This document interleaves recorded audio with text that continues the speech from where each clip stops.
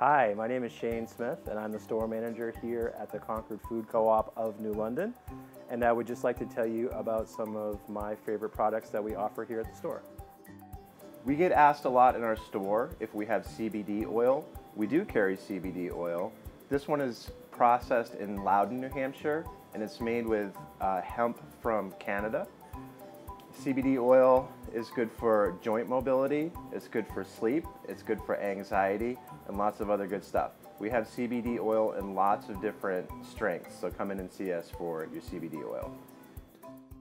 If you're in the mood for real food, it's Concord Food Co-op.